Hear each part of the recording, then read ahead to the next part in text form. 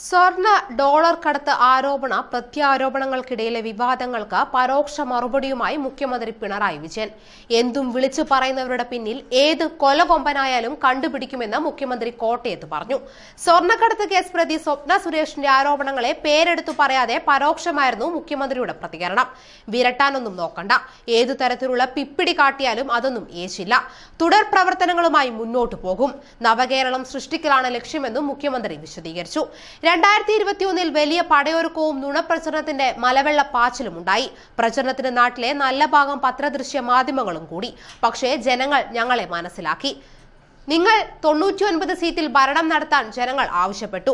ഞങ്ങൾക്കത് ശിരസ വഹിക്കുകയാണെന്നും മുഖ്യമന്ത്രി കൂട്ടിച്ചേർത്തു. മുഖ്യമന്ത്രിയും കുടുംബവും കറൻസി കടത്തിന്റെ ഭാഗമായി എന്നാണ് സ്വപ്ന സുരേഷിന്റെ ആരോപണം. ഇതിന് പിന്നാലെ വലിയ പ്രതിഷേധങ്ങളാണ് സംസ്ഥാനത്ത് വ്യാപകമായി പ്രതിപക്ഷ സംഘടനകൾ നടത്തുന്നത്. ഈ സാഹചര്യത്തിൽ കോട്ടയത്ത് പിണറായി വിജയൻ പങ്കെടുക്കുന്ന പൊതുപരിപാടിക്ക് കനത്ത സുരക്ഷയാണ് ഒരുക്കിയിട്ടുള്ളത്. മുഖ്യമന്ത്രി താമസിച്ചിരുന്ന നാട്ടകം ഗസ്റ്റ് ഹൌസിൽ നിന്ന് മാമൻ മാപ്പിള മെമ്മോറിയൽ ഹാളിലേക്ക് അദ്ദേഹത്തിന്റെ വാഹനം കടന്നുപോകുന്ന വഴിക്ക് ഒന്നര മണിക്കൂർ മുമ്പേ പൊതുജനത്തിന്റെ വാഹനങ്ങൾ തടഞ്ഞു. മണിക്കൂറോളം വാഹനം തടഞ്ഞതോടെ വഴിയാത്രക്കാരും പോലീസും തമ്മിൽ തർക്കമുണ്ടായി. കറുത്ത മാസ്ക് ധരിച്ചവർ പോലും ഈ വഴി കടന്നു പോകരുതെന്നാണ് പോലീസ് നൽകിയ നിർദ്ദേശം.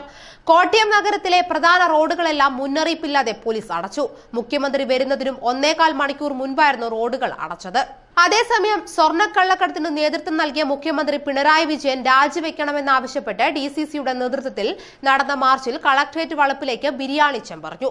പ്രകടനവും പ്രസംഗവും കഴിഞ്ഞ് പ്രവർത്തകർ പിരിഞ്ഞു പോകുന്നതിന് തൊട്ടു മുൻപായിരുന്നു സംഭവം. പ്രകടനമായി എത്തിയ പ്രവർത്തകർ കളക്ടറേറ്റിന് മുൻപിലെ ബാരിക്കേഡ് തകർക്കാൻ ആദ്യം ശ്രമിച്ചെങ്കിലും വിഫലമായി. തുടർന്ന് നേതാക്കളുടെ പ്രസംഗത്തിന് ശേഷം വീണ്ടും ബാരിക്കേഡ് തകർക്കാൻ ശ്രമമുണ്ടായി.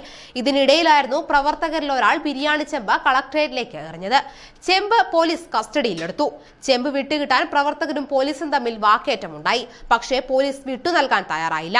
തന്റെയും കുടുംബത്തിന്റെയും പേരിൽ ആരോപിക്കപ്പെട്ട രാജ്യദ്രോഹ കുറ്റത്തിൽ നിന്നും രക്ഷപ്പെടാൻ കുറ്റാന്വേഷണ സംവിധാനങ്ങളെയും നീതിന്യായ വ്യവസ്ഥകളെയും അധികാരത്തിന്റെ ഹുങ്കു ഉപയോഗിച്ച് വെല്ലുവിളിക്കുകയാണെന്നും എന്ത് വില കൊടുത്തും ഇതിനെ നേരിടുമെന്നും ഉദ്ഘാടന പ്രസംഗത്തിൽ രാജ്മോഹൻ ഉണ്ണിത്താൻ എം പറഞ്ഞു.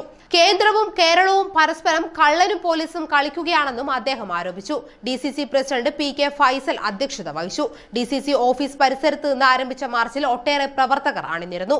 യു ഡി എഫ് ജില്ലാ കൺവീനർ എ ഗോവിന്ദൻ നായർ മുൻ D C C president Hakeem Kunnil K P C C സെക്രട്ടറിമാരായ K Neelakandan M Asinar K P C C മെമ്പർമാരായ P A Ashraf Ali K V Gangadharan D C C general സെക്രട്ടറിമാരായ വിനോദ് കുമാർ പള്ളയിൽ വീട് Karunan Thappa P V Suresh V R Vidyasagar Sebastian Pathalil K V Sudhakaran തുടങ്ങി നിരവധി പേർ സംസാരിച്ചു.